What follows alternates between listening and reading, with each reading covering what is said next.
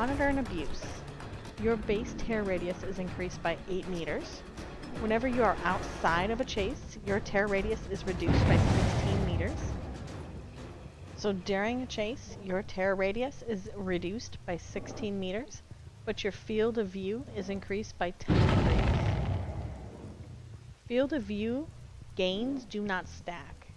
So wearing Shadowborn with Monitor and Abuse, they will not combine together to give you a greater field of view.